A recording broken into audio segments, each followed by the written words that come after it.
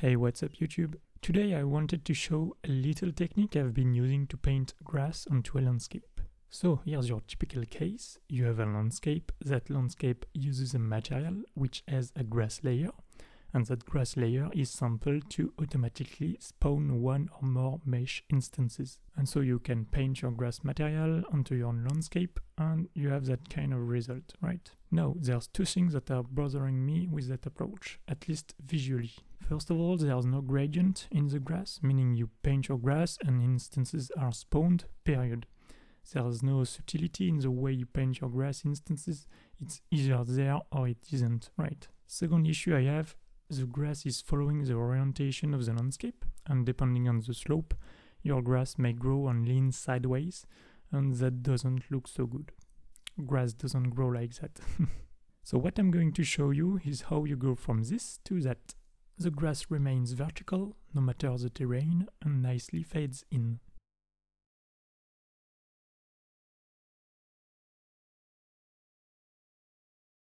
and you can use regular foliage instances as well, as I'm going to demonstrate. Let's modify my landscape material and turn off the automatic grass instancing. That is now turned off and my grass layer only contributes to the albedo now, as expected. Now look what happens when I add instances by hand.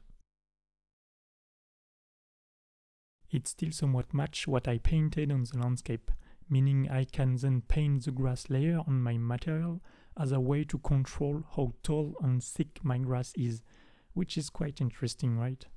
And I personally think it's visually way more pleasing than what we had before. Now, how is it done? Well, it's actually quite straightforward, but obviously comes at a small performance cost.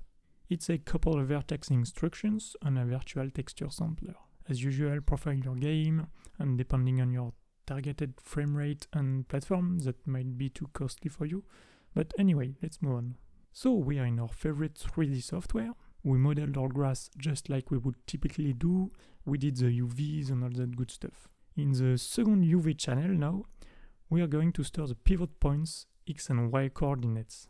For those of you who don't know what that is, it's actually quite simple. It's like we encode the position of each mesh pivots, so that when they are collapsed down to a single mesh and exported, we can then later recompute each pivot's position using UVs. It's hard to see what's going on because again we are not encoding UVs in a 0-1 normalized space for texture purposes, right? But actual world position in centimeters. And so Blender isn't too cooperative with that. Let me scale this down. So each of these points is the X and Y coordinates of the pivot of a grass blade, okay? You can kinda see the pattern of my grass blades in the UVs, right? And storing that information is extremely useful, like for wind animation to begin with, you might want to rotate each grass blade around their own pivot point instead of the object pivot point for obvious reasons. But we'll also use those pivot points for something else, more on that later. Anyway, moving on, there are scripts to bake pivots for 3ds Max, link will be in the description below.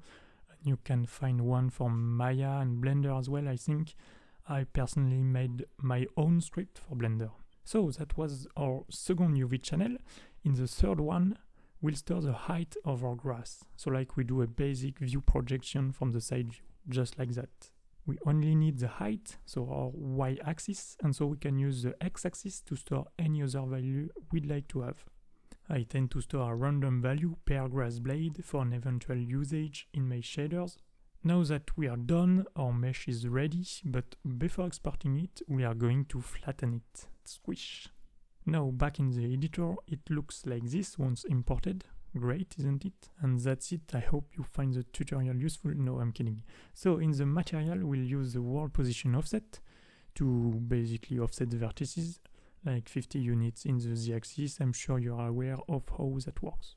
And so you guessed it, we'll use our third UV channel the one where we store the height of our grass blades, to push the vertices up, like so, using the green channel which corresponds to the y-axis. Plug that into the world position offset, and there's nothing. That's to be expected because our UVs are in a 0 to 1 normalized space, so we do displace vertices indeed, but by 1 centimeters, which is pretty much invisible. Let's multiply that by 100. Okay, okay, something's happening. So first of all, the y-axis needs to be flipped, so y in minus will do the trick.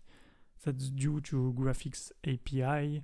Some will have the origin like in the top left corner and some will have the origin in the bottom left corner. Okay, better, but seems like the taller the grass is, the sideways it goes. That's simply because we are sending a float value into a vector, and so it gets converted into x, y, and z, thus the 45 degrees offset, because as we have set vertices upward, they get shifted equally on the x and y axis as well. We can fix that by multiplying our float value by a vector and then we nullify the x and y components. Okay, good. We can now specify a custom height value for grass and no matter the grass rotation, the vertices will be pushed upward along the world axis, which is exactly what we wanted. Now, to thicken it, it's slightly more complicated, bear with me. We are going to use the pivot points to basically collapse the grass vertices, sort of like a scale factor. First of all, we need to convert the pivot points we stored in the UV coordinates to world coordinates, and that little setup will do that nicely for us. Make that a material function.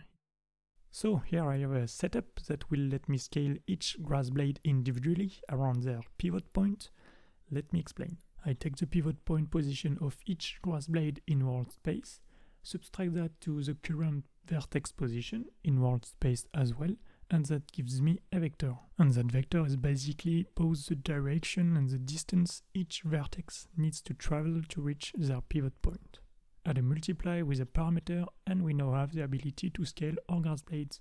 All we need to do still is combine both our technique to push the vertices upward in the z-world axis and scale our vertices around our pivot points. We'll need a common scale factor. For height technique, we'll simply multiply our height parameter by our scale factor. To that we are going to add the scale technique, which we also multiply by the same scale factor. With that being done, we can now give a height to our grass blade while controlling their thickness. Very last step, we are almost there. How can our landscape have any say in this? Well, if I open my landscape material, you can see that I write all kind of stuff into the virtual texture output. Setting up virtual texture is slightly out of scope for this video, so let me know in the comments if you'd like a separate tutorial on the subject. Anyway, I'm writing my z-world location, albedo, roughness, normals, and I also sample my grass layer to write that value into the mask input. For this to work though, you'll need a specific virtual texture setting, because by default the mask input will not be used. But if you set your virtual texture like so, you'll be able to use the mask input. Not that it leads to a heavier memory usage, but that's a cost we'll have to pay. Back in my grass material, all I have to do now is sample that virtual texture and use that mask output as a scale factor. And we're done. That wasn't so bad, right? I like virtual textures, they are cool man. Tons of stuff you can do with them. Do note that they are slightly more costly than regular texture samples, but again that's a cost I'm personally willing to pay to get those kind of nice effects. Hope you find that useful, let me know in the comments if you have any questions or if you need any help. Consider leaving a like and subscribe if you appreciated the video. Also I have just launched a Patreon where I share all kind of cool projects and where I will soon start to show the progress on my own game. Also consider following my Twitter account where I post all kind of small tips and random doodles. That's it, thanks a lot for your time, I'll see you in the next video, see ya!